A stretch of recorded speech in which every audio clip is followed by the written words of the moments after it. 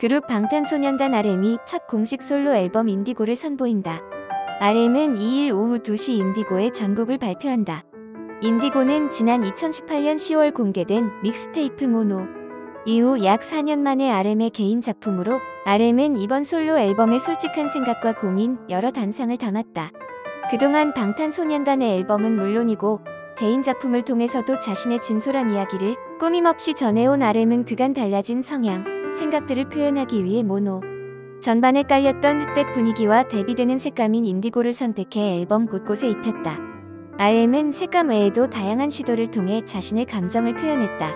앞서 RM의 SNS를 통해 공개된 인디고 포토에는 청바지와 데님 셔츠를 입은 RM을 중심으로 옆에 놓인 의자에 청바지가 쌓여 있고 벽에는 RM이 평소 존경하는 고 윤영근 화백의 작품 청색이 걸렸다.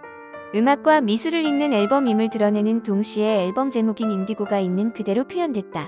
RM은 Indigo의 전곡 작사 작곡부터 앨범의 콘셉트 및 디자인, 구성, 뮤직비디오 기획에 이르기까지 앨범 작업 전반을 이끌었다.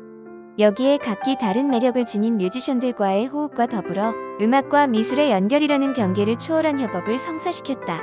Indigo에는 치열하고도 찬란한 RM의 삶과 사유의 흔적이 녹아있는 열곡이 담겼다. 타이틀곡 들꽃놀이를 비롯해 윤, Still Life, All Day, 건망증, Closer, Change Part 2, Lonely, Hectic, Number 2 등이다. RM은 닥스킴, 피독, 혼내, 이이언, 은희영 등 실력파 프로듀서와 손잡고 앨범을 완성했다.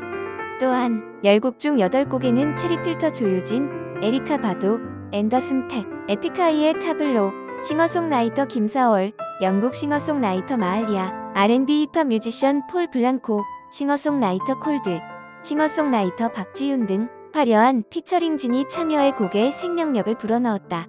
한편 RM은 Indigo를 발매하고 소규모 공연, tvN 예능 프로그램, 알쓸인잡 MC 출연 등 다양한 활동을 이어나갈 계획이다.